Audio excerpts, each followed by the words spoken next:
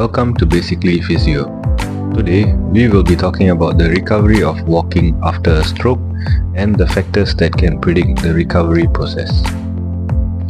After a stroke, what usually will happen is that there will be muscle weakness in the body. This can range from upper limb, lower limb, or the trunk muscles. For the prediction of recovery for walking, these are the three things that we need to look out for after a stroke.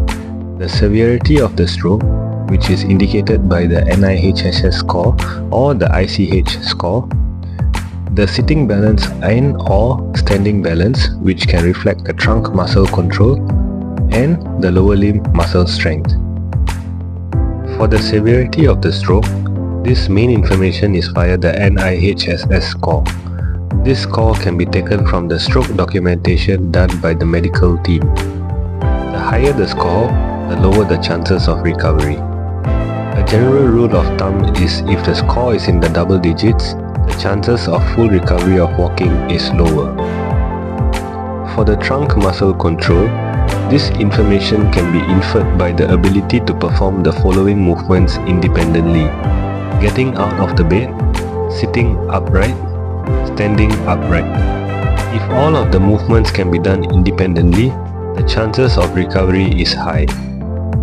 For the lower limb strength, the initial muscle strength that has been preserved after the stroke can indicate the chances of recovery. On comparison to the unaffected leg, if the muscle power is at least 50% over the hip, knee and ankle, the recovery of walking is said to be good. Two more important factors to consider will be the age and the cognition.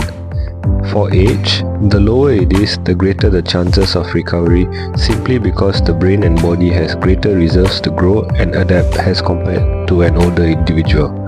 For the cognition, after a stroke, cognition can be affected as well and this would affect the learning ability, insight, participation of the individual in the rehab after the stroke.